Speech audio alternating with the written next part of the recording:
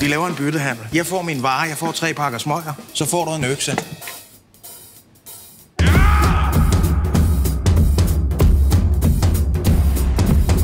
Har I fundet ham? Ikke ennå.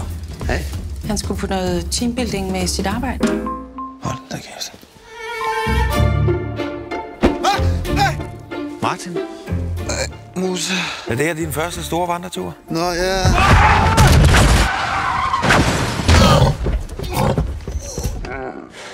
Første vandretur. Har du boet her i lang tid, eller? Jeg har boet her i... Et års tid, eller sådan noget? Nej, jeg har boet her i... I 10 dage. Nå, okay. Ja.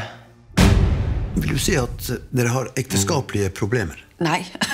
Vi mænd, vi egner os faktisk slet ikke til at, at leve sammen med nogen. Er du skæv, eller? Er han voldelig? Nej.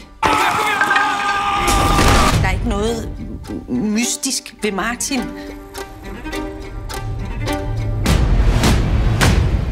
Jeg har sgu prøvet alt muligt. Jeg har prøvet løbeklub og en halv Ironman. Men jeg har ikke kunnet mærke noget. Her kan jeg mærke noget. Den kraften som du har i øynene dine, det er helt unikt. Hvad laver han? Slip ham! Sænk byer! Hold kæft! Hvad er det for noget tøj, han? Enten så er han blitt sinnssyk, eller så er han også en del av en ring av internasjonale narkosmuglere. På med gummistøvlene, inn og lete etter det.